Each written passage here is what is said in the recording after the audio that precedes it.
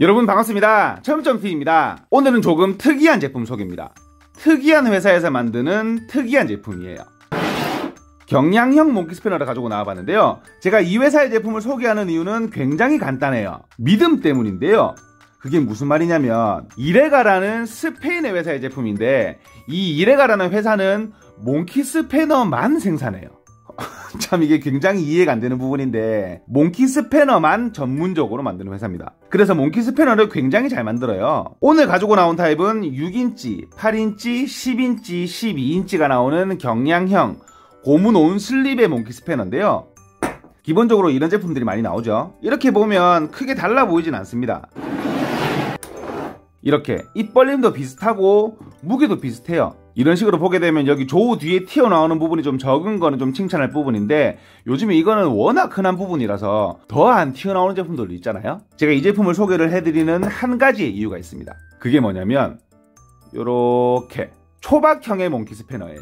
그래서 기본적인 제품과 비교를 해드리게 되면 요 정도의 차이가 납니다. 3분의 2도 아닌 게 한 5분의 3 정도로 얇아요. 근데 이런 거는 초슬림 몽키 스패너가 나와요. 이만큼 얇은 게 나온다는 얘기죠. 근데 보통 그런 제품들은 몸체 자체가 얇던가 아니면 처음 시작점은 얇은데 점점 두꺼워지던가 왜 그렇게 만드냐면 얇은 제품은 토크수가 낮아요. 왜냐하면 부하를 받는 부분은 요 부분 요 부분인데 이 부분을 얇게 만들 수는 없으니까 아예 점점 점점 굵어지게 만들던가 아니면 간단 작업용으로 완전 초슬림형으로 나오는 거죠.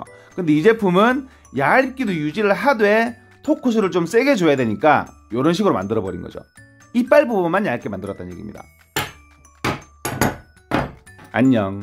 시수를 재게 되면 6인치 기준에 4.5mm가 나오고요. 8인치 기준에 5mm가 조금 넘고 10인치 기준에 6mm, 12인치 기준으로 8mm 정도가 나옵니다. 사용감을 말씀드리게 되면 이 부분은 굉장히 부드러운 편이에요. 소리도 많이 안 나고 걸리는 부분이 거의 없다고 봐도 무방해요.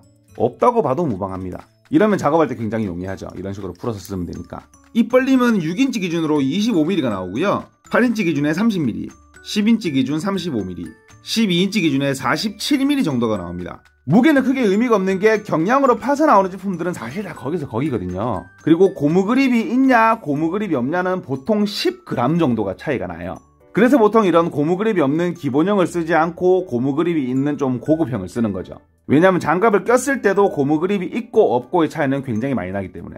저는 이 회사에 대해서 알아보다가 몽키 스패너만 생산한다는 얘기를 듣고 깜짝 놀랐어요. 고집을 한다고 해요. 몽키 스패너만 생산을 하는 걸로. 품질로 승부를 보겠다 이거죠. 그래서 매니아층에는 조금 유명하고 직구족도 많은 제품을 알고 있으니까 한번 알아보시는 것도 괜찮으실 것 같아요. 소개를 해드리는 이유는 요거. 슬림형인데 점점 넓어지지 않고 몸체 자체는 두껍기 때문에 좀 좋은 토크를 낼 수 있는 그런 장점이 있는 제품. 특별하게 막 어마어마한 그런 스펙을 가지고 있는 제품은 아니니까 이런 초박형 상황을 쓸 수 있는 그런 곳에 사용성이 많으신 분들은 한번 알아보셔도 괜찮으실 것 같아요. 오늘은 초박형 몽키 스패너, 몽키 스패너만 생산한다는 이레가의 초박형 몽키 스패너를 소개를 해드렸는데요.